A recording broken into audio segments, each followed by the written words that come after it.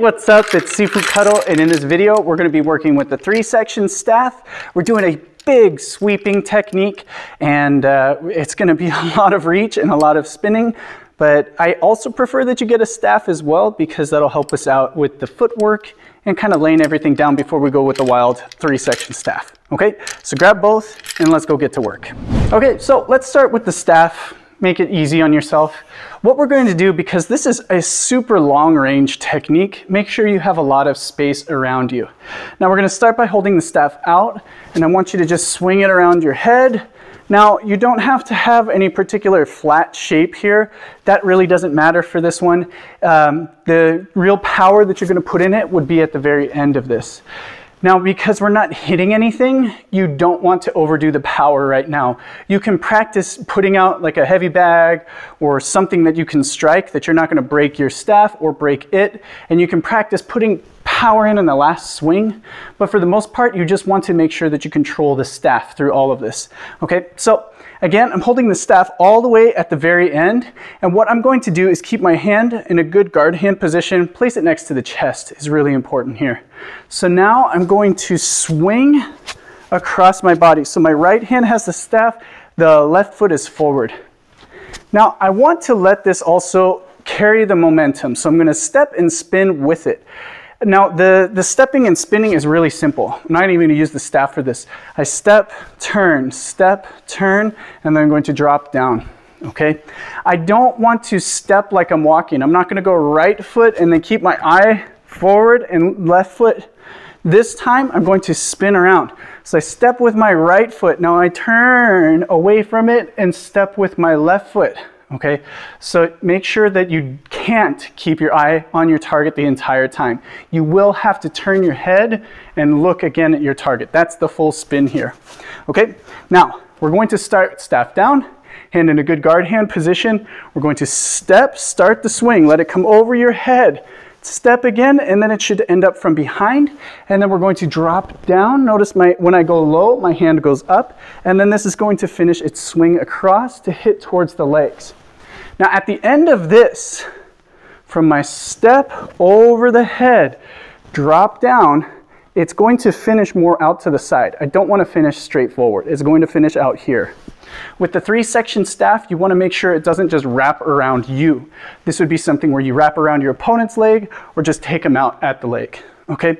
Now this is stepping one direction. So get used to this. We take the step up, over, down. Now we're gonna go back in the opposite direction. So now I swing towards the other side. Get used to this, okay? So now I'm going to swing, step, over the head, step, and then again drop, and the hand comes up. Again at the end, as I swing across, it's going to be out at an angle, not straight forward, okay? So now we can move back and forth. I go one over the head, two, drop, one, over the head, two, drop. Okay? Now, depending on where you're at, like I'm in here, I prefer not to hit these mats. I'm going to very much control how the staff moves. Even when I'm practicing with the staff itself, I don't want to slam it down on the ground. So I'm going to let it swing and either hold it up or then afterwards let it rest down. So again, swing, out, and then I can let it touch down at the very end.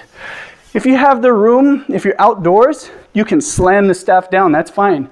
But if you're inside, be aware of your surroundings. Be conscious of your equipment, okay? Now, let's do it with the three section staff. Now with the three section staff, you can actually go slow on this one, unusual compared to the rest of our techniques. You can actually take your time as you're learning how to do this. So unfold the staff, let it rest down on the ground and then grab towards the bottom end of the staff. You can grab a little bit higher, but just be aware that the further you get closer towards the, the center of the staff, this part you have to really navigate to go around your body and you may end up hitting yourself with that part. So just be careful there. I prefer to go um, right down towards the bottom. I don't have to be at the very bottom itself. Okay, now I can show you, you can still go slow with this one. You can just keep it just up above the ground. It's a very comfortable position, okay? And then let it rest. And then the same thing here. Step over the head, step, drop, okay? Now you do want to add speed and there's two points of power here. The first one is our first swing. Both of the, both of the swings in this direction are going to be with power. Okay, so from, from this position, I'm going to swing, control, swing again. Okay, and then control as it comes down. Moving back, same idea. I'm going to swing, control, swing again. Okay, and we can just do this back and forth, moving one way to the other. So again, swing over the head, swing, and then my guard hand goes up, swing over the head, swing, guard hand goes up, swing, step, swing, swing, step, swing. Notice I let the staff kind of slow and spin to a stop here. Now I do want to add one extra thing, and that's how to regain the staff after you've done the double spin.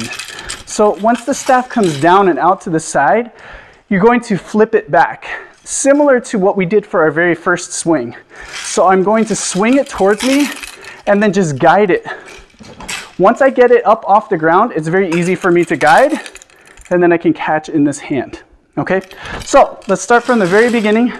Guard hand here, step, one, two, hit, and then coming back, one, two, hit, and then swing back, catch in the hand. Change it over, head to your next technique.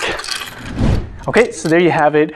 I know it's super easy once you start with the staff, but that's the whole idea. We want to make this easier so we're not worried about controlling the flexible weapon that if we do one thing off angle or at the wrong time, we can end up hitting ourselves either in the head or the shins or the hand. So you want to be nice and careful as you do this, but starting with the staff with this one makes it super easy to transition over into using the three section staff. If you have any questions on this, go ahead and drop a comment down below. I'll try to answer as best I can. Otherwise, I can make an entirely new video to help with the detail to answer your question. Okay, so other than that, thanks so much for watching. I'll see you guys next time. Bye.